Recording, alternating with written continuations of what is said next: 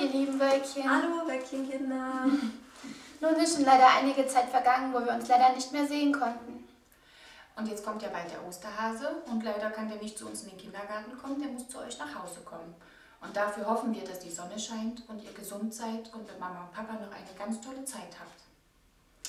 Damit wir vielleicht ein bisschen teilhaben können an den tollen Sachen, die ihr zu Hause macht, würden wir uns freuen, wenn ihr etwas für euer Bildungsbuch vorbereiten könntet. Und jetzt erwarten wir bald den Osterhasen und freuen uns auf die Zeit, wenn ihr alle wieder zu uns, zu den Wölkchen, zurück in den Kindergarten kommt. Tschüss.